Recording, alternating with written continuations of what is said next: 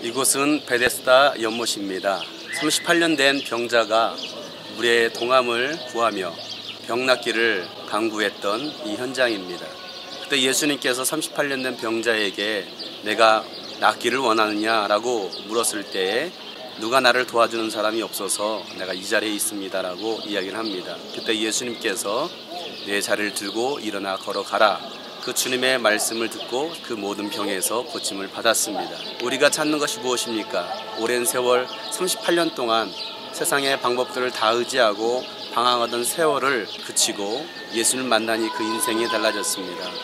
우리가 오직 주님을 바라보고 주님을 의지할 때 우리가 가지고 있는 모든 인생의 문제들이 해결받을 줄로 믿습니다.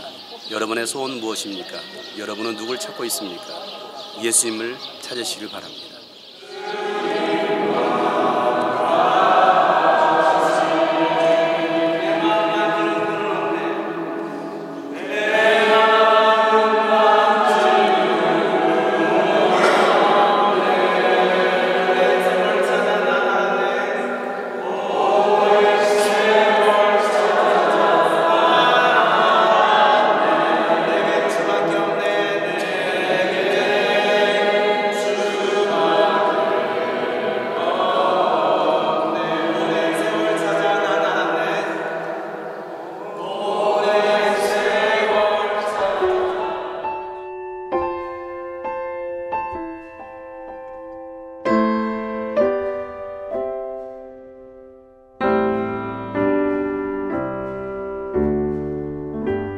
주님과 같이. 내 마음 만지는 분은 없네. 오랜 세월 찾아 난 알았네. 내겐 주밖에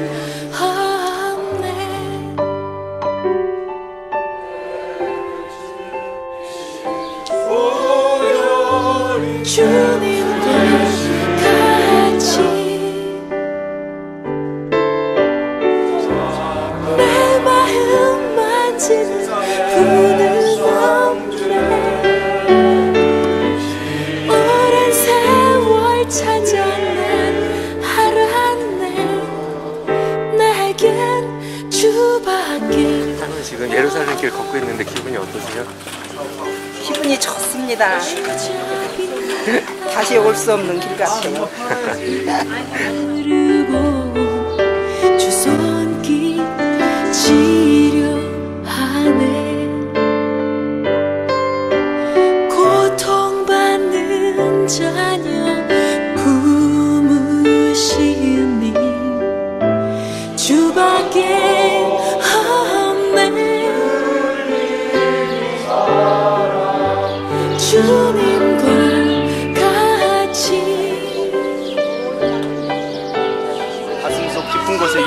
십자가의 사랑이 뜨거워짐으로 말미암아 주님 가신 그 길을 따라갈 수 있는 제자의 삶이 우리 가운데 있게 하여 주시옵소서. 주님 다시 오시는 그날까지 주님을 바라보며 그 길 따라가는 하나님의 사람들 되게 하여 주시옵소서.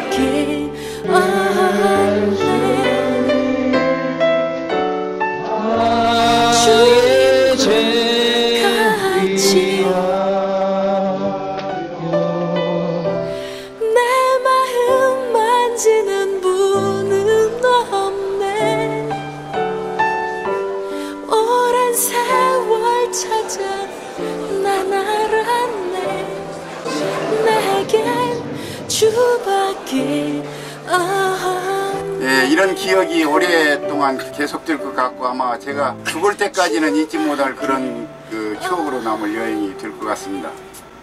예, 한 가지 더 부탁 말씀을 드리는 것은 예, 장영성 목사를 여러분께서 좀 저희 그 육남매 중에는 예, 눈물겹게 아마 혼자서 그 외로움을 달래면서 공부를 했습니다. 그런 것이 하나님께서 이쁘게 보셔서 능력을 주신 것 같고 여러분이 그 기도해 주시리라고 믿습니다만 베드로와 같은 그런 정말 사람의 영혼을 낚는 그런 목자가 되기를 간절히 바랍니다. 말씀을 드립니다. 감사합니다. 오랜 세월 찾아 난 알았네 내겐 주밖에 없네. 주님과 같이 내 마음 만지는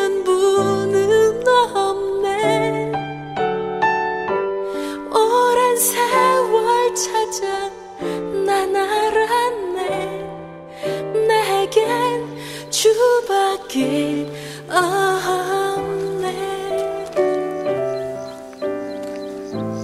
주밖에 없네.